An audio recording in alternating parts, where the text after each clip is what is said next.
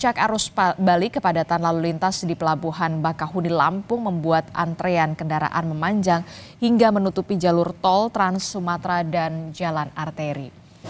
Visual udara dari Pelabuhan Bakahuni Lampung ini memperlihatkan kemacetan pada puncak arus balik lebaran di seluruh dermaga saudara hingga membuat antrean ini mengular ke jalan, uh, jalan tol Trans Sumatera dan juga jalan arteri. Kemacetan di pelabuhan ini telah terjadi sejak hari Minggu sore hingga Senin dini hari tadi. Petugas gabungan tengah berupaya memecah kemacetan yang terus berlangsung. Dari data ASDP cabang Bakahuni, sekitar 67 ribu kendaraan telah kembali ke Pulau Jawa. Namun hingga saat ini masih meninggalkan sekitar 66 persen atau sekitar 128 ribu kendaraan yang masih berada di Sumatera untuk mudik.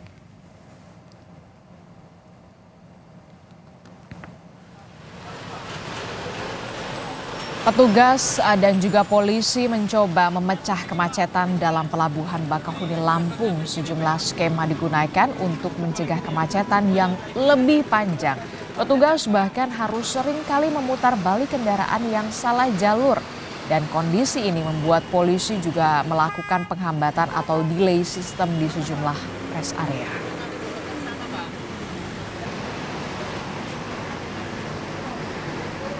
Ini juga kami terus melakukan pengaturan-pengaturan kantong-kantong parkir di dermaga Pelabuhan Bakauni. Ya insya Allah ini masih terkendali, kondusif ya. Kami juga telah memiliki beberapa titik-titik untuk melakukan penghambatan arus lalu lintas. Ini juga untuk mengantisipasi lonjakan yang ada di Pelabuhan Bakauni saat ini.